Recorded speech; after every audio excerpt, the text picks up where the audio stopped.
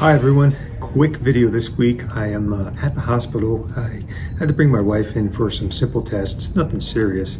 And uh, I figured while I'm here, three, four hours, I can find a quiet spot, which I did here in the corner of the cafeteria, and uh, make a video. So this is a little out of the norm for me, a little uncomfortable, but so far so good.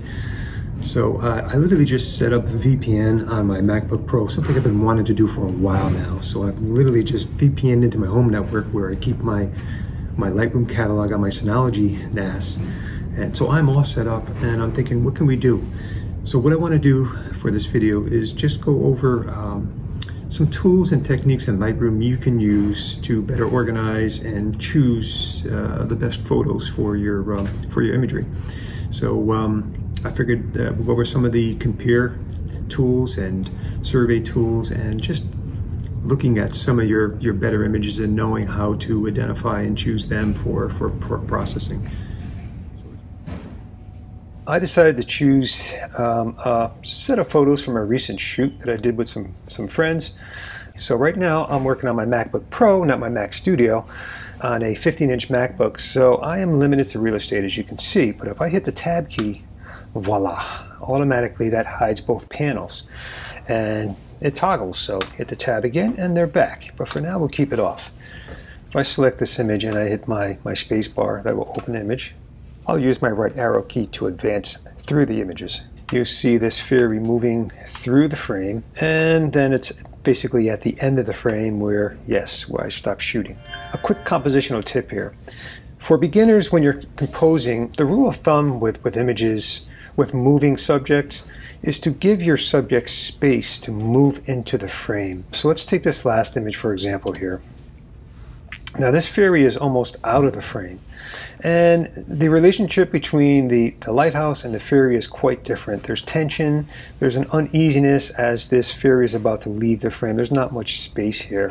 So unless you have a good reason for trying to tell this story, I mean there is some sort of relationship between these two, but it, it's there, there's definitely tension and an uneasiness. It's not a real pleasing um, composition as opposed to, let me go back to G, I can bring my guide up as opposed to something like this, the boat has entered into the frame, and now the ferry has quite a different relationship with the with the lighthouse in this instance, right? I mean, it has plenty of space to move into the frame, and and these two are sort of playing off on each other a little bit better. So uh, you see this a lot in wildlife photography with birds and stuff. You're catching a bird in flight, but the idea is to try and leave some space so that the bird can fly into the frame. But anyway, I'm probably not going to do anything with these images here, so I'm just going to stack them. So I'm going to click this one, I'm going to hold down my shift key, I'm going to select all these, right click, go to stacking and group into a stack. But this image is probably the dullest image. So let's go back into stacking and let's just temporarily expand the stack. By doing this, we're not removing the stack, we're just simply looking at what's inside the stack. This is the image I want to see on top of my stack. So you simply just drag it over. And now let's go ahead and collapse that stack. And now I can quickly see the, the best image of the stack. So I'm looking at the next set of images here. I'm asking myself, well, what's interesting here? When you're out in the field making images, you really have to think about some of the attributes um, of the subject you're shooting. And when you're shooting lighthouses, a, a, good idea is to start counting the intervals of, of when the light flashes. Every lighthouse is different, and every lighthouse has specific light intervals that are intentional for Coast Guard and for, for, for boaters and, and whatnot. As photographers, that gives us the advantage to know when to release the shutter. Try and think about other ways to tell your story. Ledge Lighthouse has uh, a story behind it of being a haunted lighthouse. It's quite an interesting story, and it's it's not a bad idea to learn a little about your subject. If you understand some of the history, then maybe you can play off that and try and tell a story. And my idea here was to, in a long exposure, so it looks ghostly. Um, you know, the story goes that the uh, the captain of the ferry uh, had taken the the ghost of Ledge Lighthouse out to sea so that was sort of the whole idea behind, you know, behind this image. Let's get down to the shots that I find the most interesting, and that would be the full moon behind Ledge Lighthouse. These guys are the four images that I'm most interested in at this point. Now I'm going to hit N as in November to bring up the survey, or you can simply do it down here. And now we can see all four of the images that we selected so that we can survey them. But this is a very powerful tool. Now we're looking at these four images that we're interested in. Immediately I can see that this image has something very unique to it that the others don't. And that is this reflection. It has, it has like these red, whites, and blue in there. This one doesn't, neither do these two.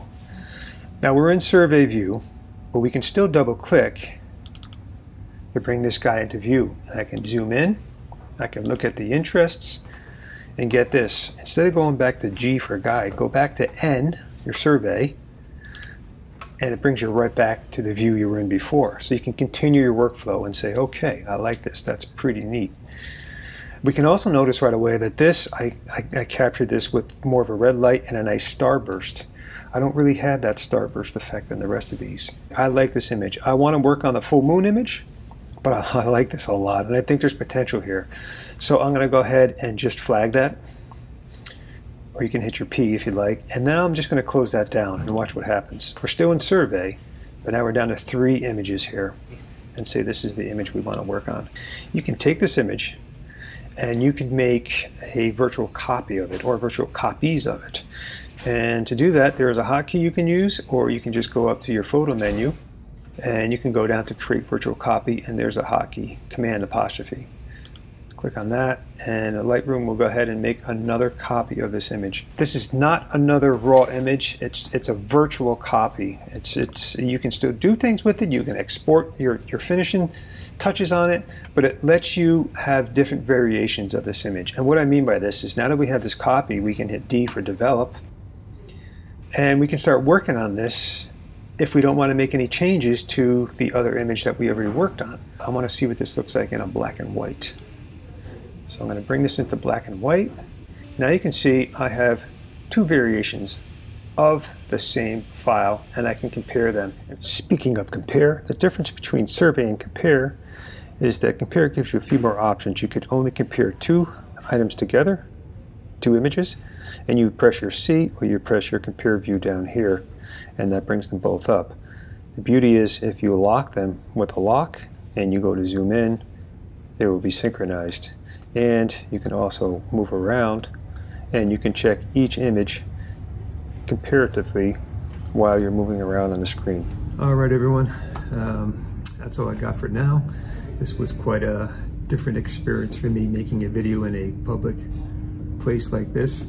Um, I have to say it's been pretty quiet and uh, I got through it.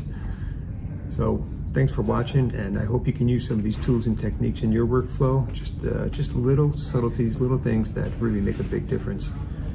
So have a great week and get out there and shoot.